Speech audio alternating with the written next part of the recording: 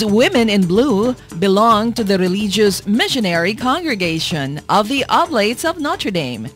The story of this religious institute began in the 1940s when Archbishop Gerard Mongeau, OMI, and Bishop George Dion, OMI, who were young missionary priests that time, started to dream of a group of women that could help the Oblates of Mary Immaculate to catechize thousands of Catholics in the provinces of Cotabato and Sulu. The dream of these two oblates began to become a reality when two young teachers in the person of Miss Maria Estrella Adre and Miss Mary Rose Quijano got attracted to this noble dream.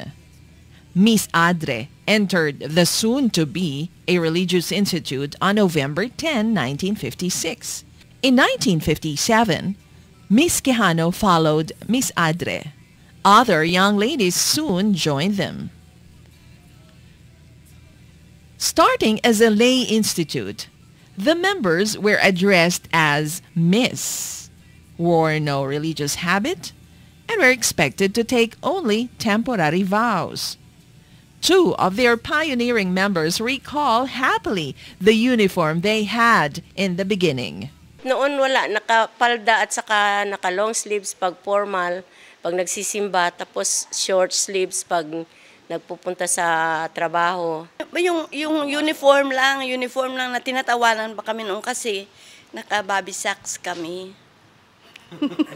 Mabisa, sabi nila para kaming, ano sa Manila, yung parang conductor, conductress, ganun yan na, ganun na.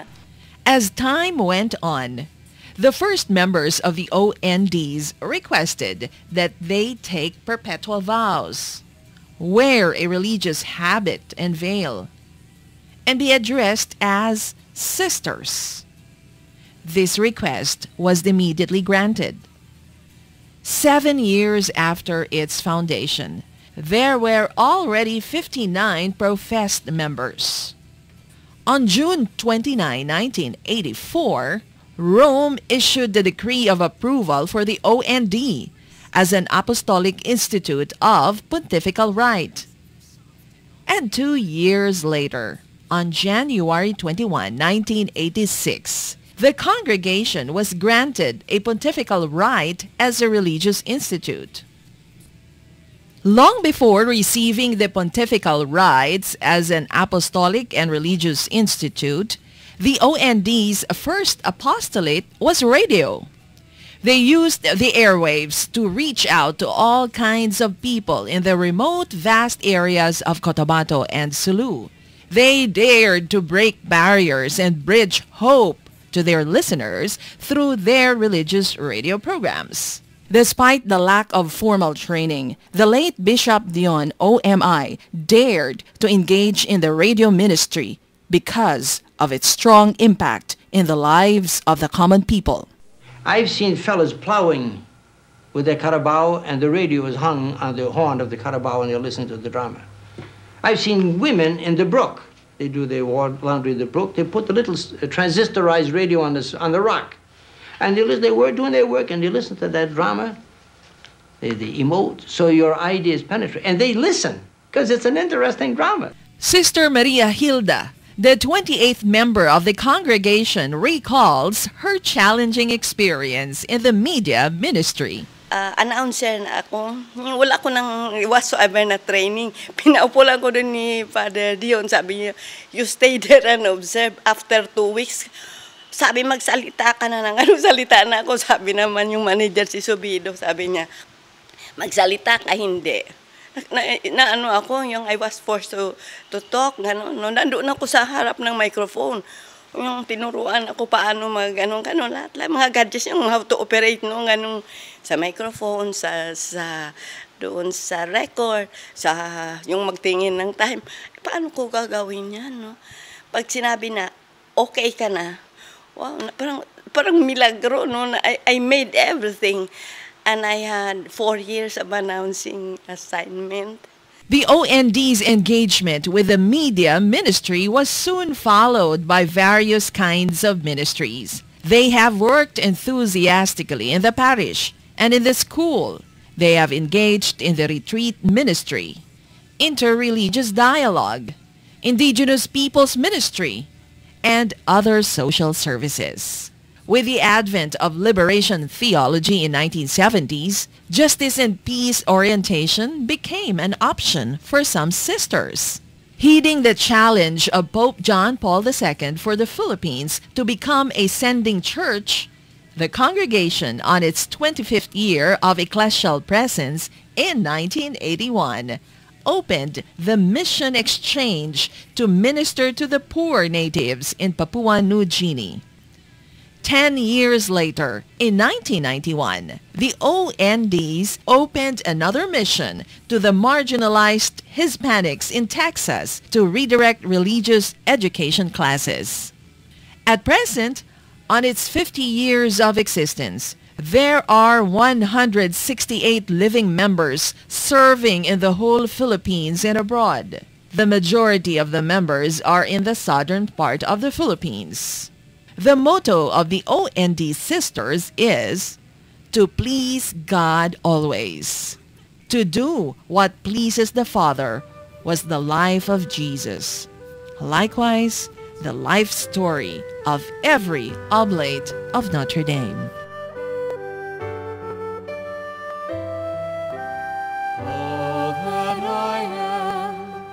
Sings of the God who brings new life to birth in me. My spirit soars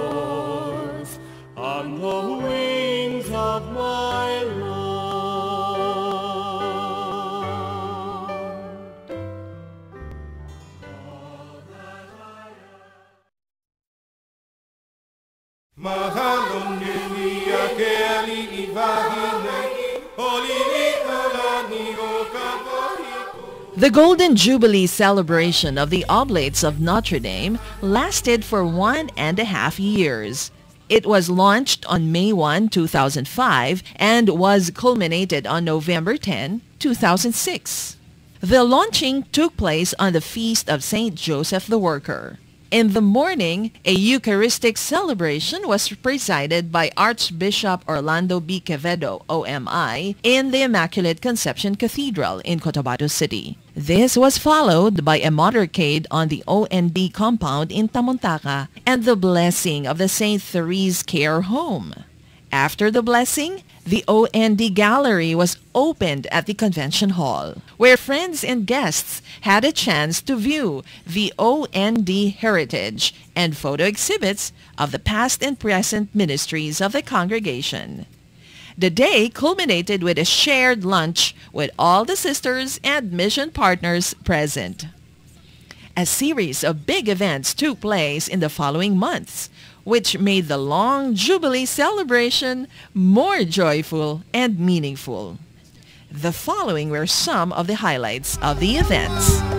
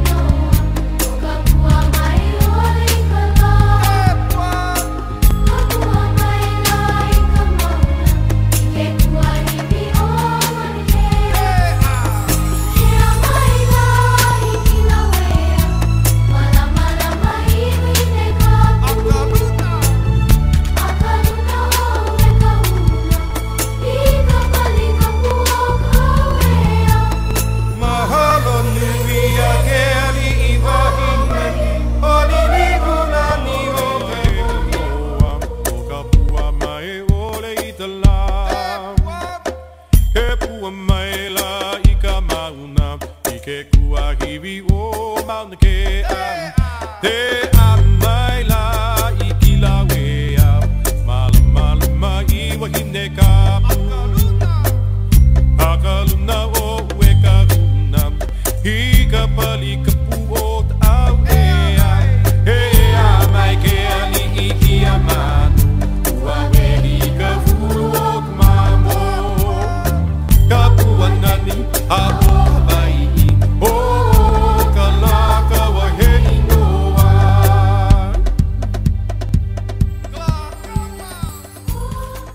The one and a half year-long Golden Jubilee celebration culminated with the Gabi ng Pasasalamat to the OND's mission partners and supporters in the evening of November 9, 2006. And finally, with the festive celebration of the Eucharist on November 10. The culminating activity was graced by the presence and recognition of different groups and families who have been closely linked with the Oblates of Notre Dame in their early beginnings and who have significantly supported the congregation's birth, growth, and expansion.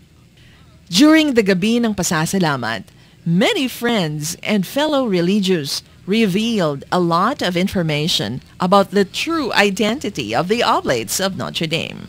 Seeing them when they get sick, I realize that's really quite difficult to be OND. Imagine, without formal and professional training, you dared the undared to undertake important as well as minor jobs in order to preach the Word of God on air. The ONDs are equal partners of the Oblates of Mary Immaculate in the community that is the church and in the mission of breaking barriers, bridging hope, bringing compassion and reconciliation into the world. They have always performed their duties with the highest degree of professionalism. They are dedicated and committed individuals with their own respective gifts and talents. Another very striking testimony about the ONDs was the testimony of Archbishop Quevedo, OMI. Initiative, flexibility, simplicity. That is my memory of the ONDs. I learned how to be a bishop by working with the ONDs. I did not like to be a bishop, but when I was assigned to Kidapawan, there were ONDs there who willingly and generously taught me how to be a bishop. You know, it's difficult to get sisters to work in the barrios. But the Oblates of Notre Dame are flexible. They take anything that they are assigned to do. I remember Sister Stella Marie riding a horse there. And Sister Pat also riding a horse. I didn't like to ride a horse, but they liked to ride a horse. Archbishop Quevedo in his homily revealed something unique to the ONDs. There is something extraordinary in the constitutions of the Oblates of Notre Dame. They explicitly aim, and I quote, to develop a sense of humor. You do not find that in many religious constitutions. So I'd, I would believe that an oblate of Notre Dame who does not smile and laugh at jokes is a contradiction in terms. For the oblates of Notre Dame, a joyful disposition is an integral part of their lifestyle and of their spirituality. Besides all these testimonies of fellow religious, the impression of the youth, co-workers, and the common people of the ONDs are very interesting. This is how they describe the OND sisters. Matulungin tsaka understanding. Maganda, mabuti sila. Mabait, matulungin sa mga batang mga bakwit. At saka po, sila, sila din nagatulong sa amin bilang working na kami ay paaralin. At sa ibang mga batang kasama namin sa Notre Dame. Ginaguide ka talaga nila sa tamang direksyon ng buhay, kung ano talaga yung ah, dapat mong gawain. Madaling lapitan, kung may kailangan ka. Maganda talaga yung pakikitungo ng OND, especially yung uh, three sisters dito. What I admired most about the OND sisters is their uh, love for the poor and they're working with the poor. For those who have dared to join the ONDs, they say almost the same thing about what attracted them to join the OND congregation. Yung outreach nila sa mga IPs and then they make strong positions on issues like justice and peace. Ang ila pagka-simple, pagka-flexible, kag being with the poor ano at all times. Very pastoral ang ministry and the apostolate. When I was in Holo as a teacher, they were assigned in the parish. I can't see them anywhere. And when I saw the Blue Sisters down with the tricycad, oh, that's something I said, are the sisters? So nakikita ko itong mga OND, tapos na-meet ko na si Bishop Dion, na alam mo, robo-robo, parang ordinary people lang ba sila, yung ordinaryo lang. Yun ang naka-ano sa akin, naka-attract sa akin. During the OND's final Jubilee Eucharistic celebration on November 10, 2006, the Superior General, Sister Rose Susan P. Montejo, OND, delivered a powerful message to thousands of people about what the ONDs hope after the Jubilee celebration. It is our hope that our experience of this Jubilee celebration will inspire us to move forward, keep alive our charism in frontiers where we are called and sent to serve, and become a presence that breaks barriers and builds bridges of hope. Through the years, the Oblates of Notre Dame indeed have inspired many people to break barriers and bridge hope to everyone. May their way of life continue to challenge each one to create a peaceful, just, and a happy world to live in.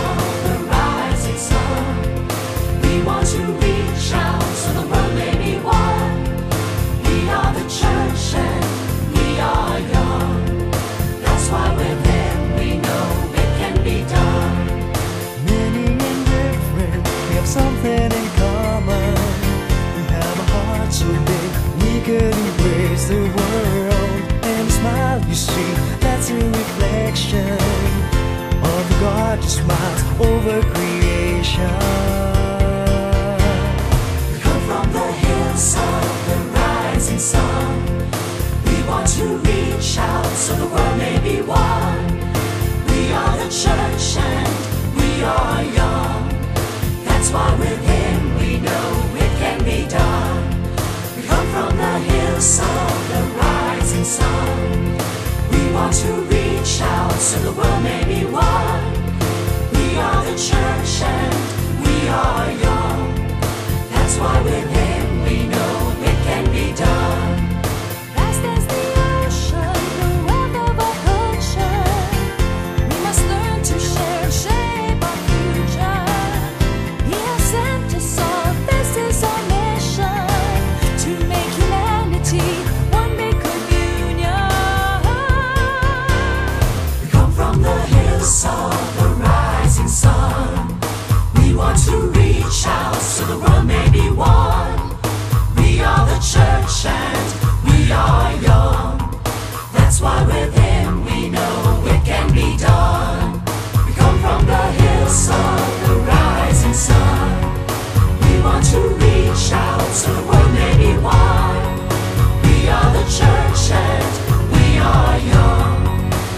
That's